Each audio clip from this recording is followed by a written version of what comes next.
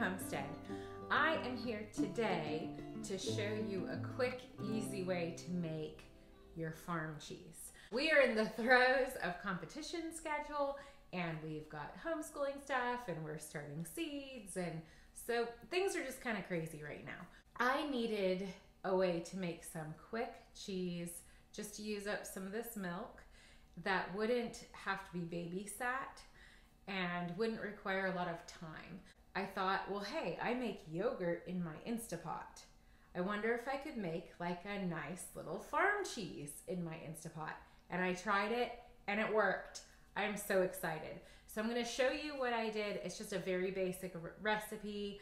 I'm using a half a gallon of goat's milk. I'll use two tablespoons of white vinegar, distilled white vinegar, and that's what I'll use to curdle my milk to make my cheese. But the first thing you wanna do is go ahead and have your Instapot ready and you wanna pour in your milk.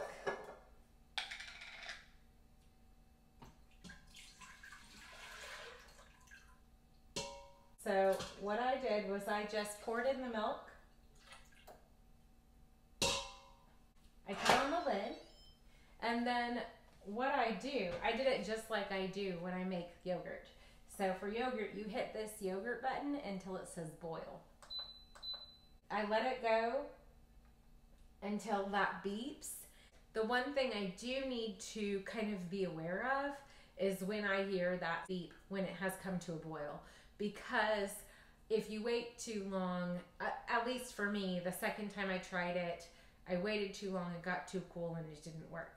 The first and third time I tried it, I let it get all the way to a boil, and then right away, I went ahead and opened it and put in the vinegar, and it started to separate right away. Um, the other thing about making this very basic firm cheese is if you don't see it starting to yellow and separate within the first five minutes, you want to go ahead and add more vinegar. If you wait longer than five minutes, it doesn't work as well either. So you, I do need to do this while I'm in here, kind of like cleaning, multitasking, working with the kids on school. It's not something I can go ahead and and put on and go outside and forget about it and come back in. Um, I do need to be able to hear that second beep, but I don't have to babysit it. I don't have to stir it. I don't have to check the temperature. I just wait for it to beep and it's amazing. So as you can see, it has ended now. And so I need to go ahead and open it up and pour in the vinegar as fast as possible.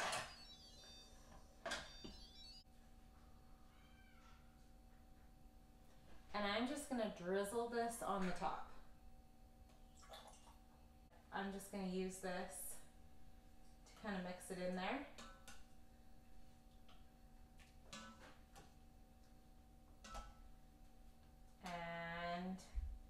Then I'm gonna let it sit and not touch it. So one thing I did want to mention about making this cheese is there may be um, sometimes when you take off that lid, a little film that's formed on top of it will keep that vinegar from fully incorporating in your milk and separating it. So make sure you check it to see if it has that little film on it. Just remove it and then you can put your vinegar in and it'll start separating pretty quickly.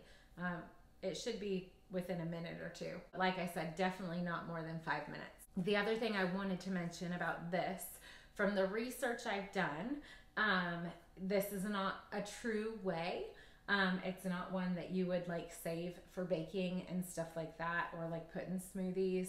It doesn't have the rennet and the starter, the starter in it, so it's not something that you're gonna want to save for that. However, this particular whey is great for your garden. It's also great for your animals. So you can go ahead and give it to your animals, or go ahead and use it in your garden. Definitely don't throw it away. Okay, so after you wait the 10 minutes, for your curds to form, then comes the fun part. I like to spoon it out. You can pour it directly into your cheesecloth. I will tell you, it's a messy endeavor. You can pour the rest when it's not so gloppy. Um, the great thing about this cheese is that it's very versatile. You can mix all sorts of herbs with it. We've done lavender. We've done um, the everything but the bagel seasoning. We've done herbs out of our garden. You could just do salt. It's very good like that.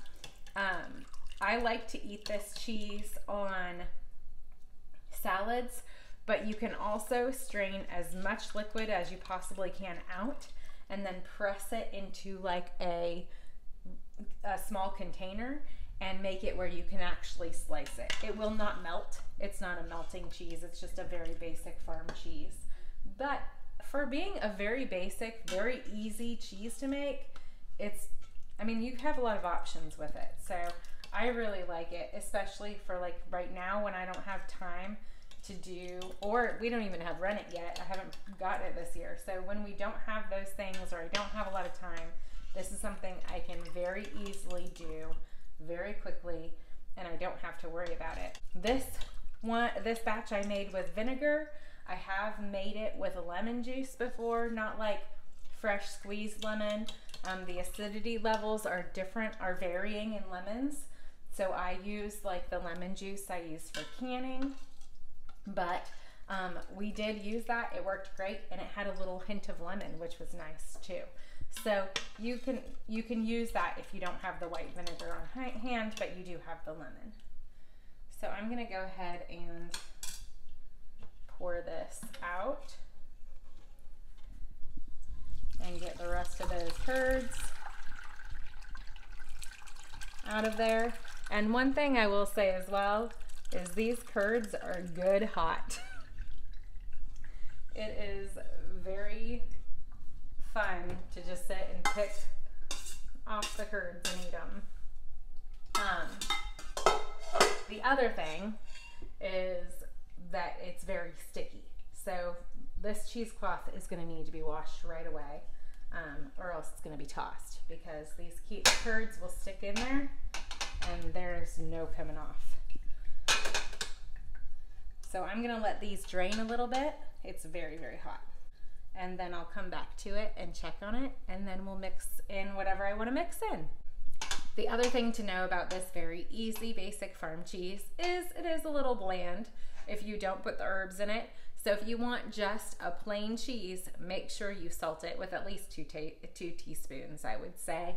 Um, I did watch someone, I've never tried this before, but they salted the container, the bottom of the container, and then pressed in their cheese and it the cheese just absorbed it from the bottom of the container. I thought that would be pretty fun to try, a fun experiment to play around with. But what I do is once this has drained, I just open up the cheesecloth and kind of move the curds around with my fingers and then just sprinkle the salt in. It's very easy to salt and um, it does get pretty well incorporated into all of the cheese. So I hope you guys enjoy this. If you like this content, make sure you comment, give us a like, a thumbs up. Um, make sure you're getting those notifications to so you don't miss any of these videos. If you have anything else you do with your Instapot that makes your life easier, please feel free to share those with us.